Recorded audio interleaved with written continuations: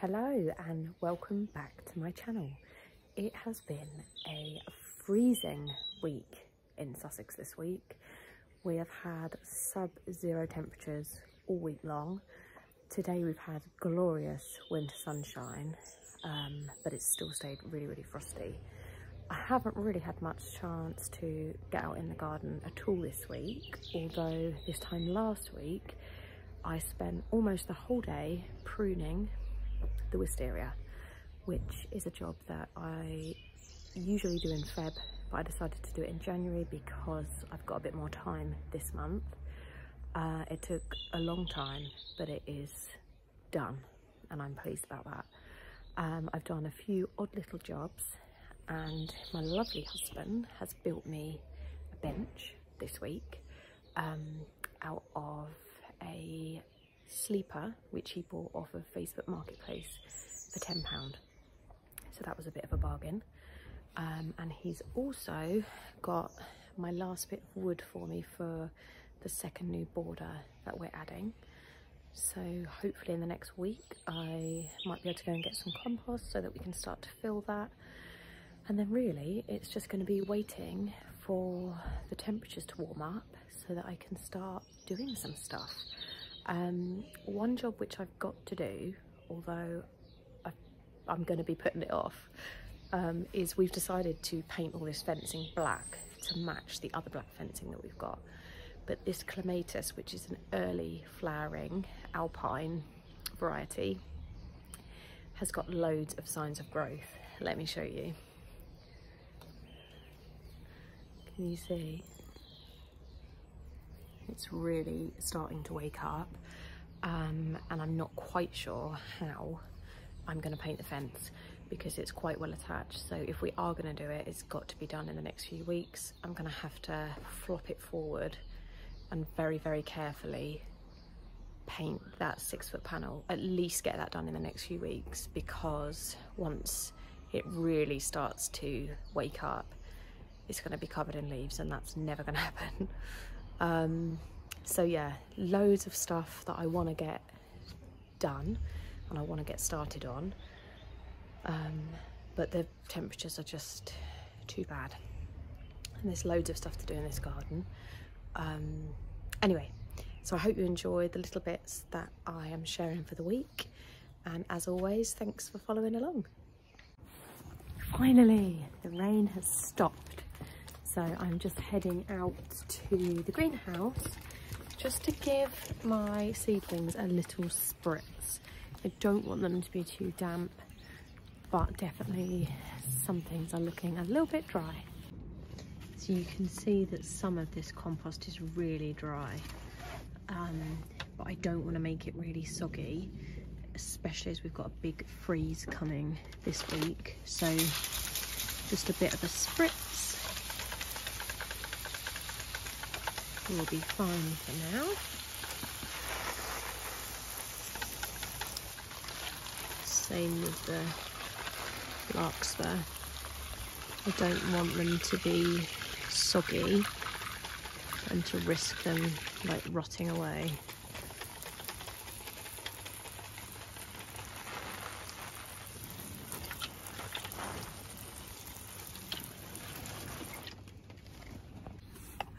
I would give you a quick tour of the Zippy greenhouse to show you what is growing um, as we head into the back end of January. Um, I haven't gone mental on the autumn sowing this year because it was disastrous for me last year. I had fungus gnats that ate lots of stuff and it was just a soggy mess. Then the Zippy greenhouse blew away and it just wasn't the best experience for me. So I haven't got lots of varieties, but let me show you what I've got. I love larkspur and I've actually got three trays of seedlings as well as some autumn sown ones which are a bit more established. Um, so I've been sowing these every month since October just so that I've got plenty because I love them so much. I've then got a tray of ranunculus here, um, pink and white varieties. I put an overflow lot in here, but some of them did get eaten by fungus gnats and didn't do too well, but those two look okay. I've then got some Swan River daisies in here, which were an experiment because I didn't do them in January last year, but apparently you can, so they look okay. Some cuttings which don't look great. That's, oh, it has got a root. I just yanked that out and it did actually have a root, but it doesn't look great. Um, maybe, maybe I'll pop that back in there. Sometimes cuttings don't always look good, but you don't know what's going on beneath the soil. So let's give that one the benefit of the doubt. That one looks okay. Um, that verbena one doesn't look great. I've then got some Salvia caradonna that I bought as plugs from Amazon. Um, they haven't really grown at all since I planted them, but I'm sure they will in the spring. I've got some malva, so I've only ended up with five decent size um, seedlings, but they're putting on loads of growth every week. I was really late sowing my cornflowers, so these aren't as established as lots of people's autumn sown, but I kind of thought it was better to get them in um, and give them a bit of a head start. And then over here, I took some osteospermum cuttings off of the plant I had and just shoved them in a pot. Uh, they're obviously doing okay, so that is good. And that is all that's in here for now. I'm up my ladder in my wisteria canopy uh, doing winter prune. It's not easy to share this footage because I have nowhere to film, but what I'm doing is taking back these shoots down to two or three buds. Um, it's really, really difficult for me to do the August prune because when all of this is covered in leaves, it's very difficult to climb in here. So I will show you what it is I'm doing some of these shoots, this one being a good example, didn't have an August prune because I couldn't get up here. Um, but now I'm going to cut that back. This is where the buds are. One, two, three. I'm going to cut it back by three buds and then post that through the gap into my rubbish pile. And again, I've got another example here of a shoot, which is just a big tangled mess. So wisteria gets a lot of this whippy new growth. Um, when you're wanting to spread your wisteria, you tie it in, but if you're happy with the shape, then you need to trim. So again, I think I've actually knocked that bud off quite. I'm going to cut it back to three bucks.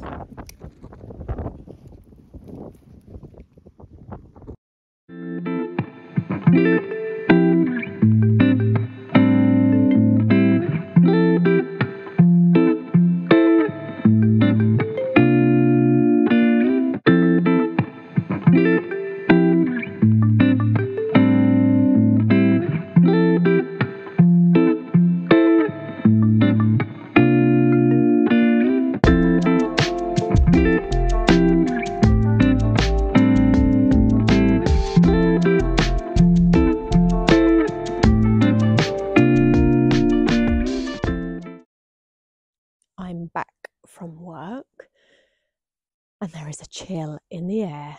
And in Sussex, I think we are due temperatures of like minus three, minus four, probably for the rest of the week now. So I have got my good old trusty frost fleece and I'm going to wrap up things in my greenhouse and also a couple of plants which didn't look too happy after the last frost.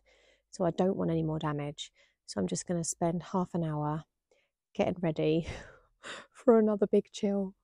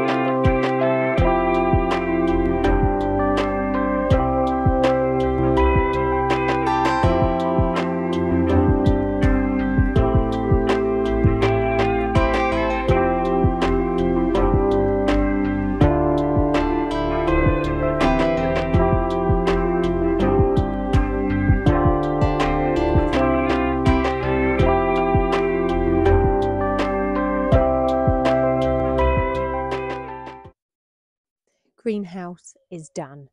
I'm not taking any chances and I have done a double layer of fleece. Um, luckily, I've not got too much out here, but I'm not risking any of my precious larkspur being destroyed. Um, must remember to close the zippy and close greenhouses tonight. Right, off to do my fatsia now.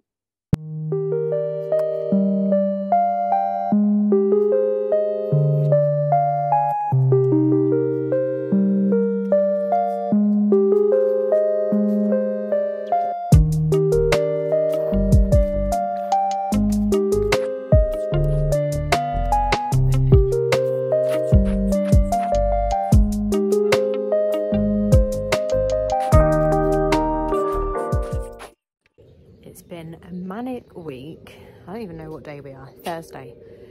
And this is the first time I've been out in the garden in the light um, all week. It has been extremely frosty. I have had covers on a few things. I'm just about to go and have a peek in the greenhouse to see what's going on. I've covered up my new plants. Um, and I can't wait for the weekend because I think it's going to be a little bit milder and hoping to squeeze in a few hours of garden time. So down in the greenhouse, just having a little look. Things have been covered up all week, but everything is looking okay. I think that fleece has probably leaned on those a little bit much, but all is okay. Ranunculus look fine. Swan River daisies, fine. Yeah. Malva, all okay, which is good news. I can see spring bulbs popping through everywhere now, which is exciting, um, and in the borders as well. So loads of signs of new growth. And the sun's just about to set. Viola's looking good. Amazingly, they're so resilient need to give them a little deadhead actually. Um, that can be a Saturday job I think. But we're surviving. I am running out to the greenhouse with wet hair. There's ice on the ground, it's freezing. But these Swan River daisies, this is my second batch, um, need to come out in the greenhouse. And despite it being freezing, the others in the greenhouse are fine. So I'm going to bring them out to join their friends. It's really sunny and bright in here um, and the temperatures have gone up a little bit and it's starting to defrost. So I'm going to take the fleece off and let everything have a bit of a breather and a bit of sun. So here we go.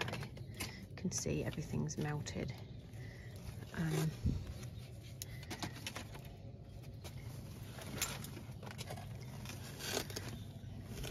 sure everything's fine. Oh. Okay, that was really unlucky. That was my Swan River daisies that got caught and have just fallen upside down. So God knows what the state of them is going to be like. Everything is looking okay, I think. Phew. Literally, they've been covered all week yeah, I just thought a bit of a breather. The temperature's warmed up a little bit. Um, yeah, looking good. Okay, that is really annoying. It's tipped out and they've kind of fallen everywhere. Perhaps I will, I mean, I wasn't planning on doing this, but I think I'm gonna thin them out, save what I can and put some in a tray. I'll do that now. I haven't quite got the right um, seed tray in the greenhouse. Really, I want a plug plant tray because they are teeny tiny, so it will save me compost. I'm so annoyed that they just fell. Damn it. Anyway, hopefully I'll be able to save them if I do it quick. Right, I am back and I have just filled up these plug plant trays. So I haven't bought these. These are just um, like from deliveries I've had. So when I've bought tiny plug plants, they've come in these and I just keep them. But for teeny tiny seedlings, they are just perfect. So I'll try and thin and save some of those Swan River daisies. Okay, this is terrible filming quality. Uh, I've made tiny little holes and then I'm literally gonna pluck them out by the leaves. They're actually pretty robust little things, but they are teeny tiny. So I'm gonna put it in and then backfill it and hope for the best. Garden accidents do happen. Uh, sometimes you just have to do your best to try and make the best of a bad situation. Who knows, this could actually be, you know, it could be that this is meant to be. It's meant to be that I experimented with these in January, I thin them out and I'm gonna have loads of amazing plants. You never know. Um, there's actually so many in here that I can't possibly pot them all on. And actually this is one of those really lovely mindful gardening activities like thinning out seeds. Although in Feb and March it's like a really overwhelming task. Um, when you haven't got so much to do, I actually find it quite therapeutic. These have really surprised me that we've been minus four and they're doing really well. And they've not gone leggy yet. Um, I wish I could remember um, the website I found that grew these in the winter. Sometimes it just takes you to read one thing and make you think that you're going to give it a go too. So yeah, here we go. They're going in really nicely.